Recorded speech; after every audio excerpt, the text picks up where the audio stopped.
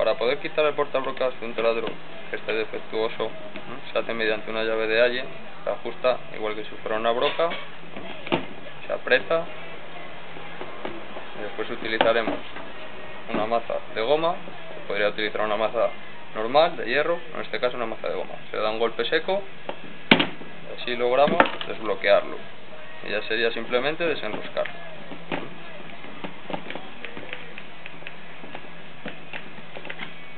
Es un portabrocas de 13 milímetros, con rosca hembra de 3 octavos, y se puede sustituir por uno igual, con llave, o por un portabrocas automático.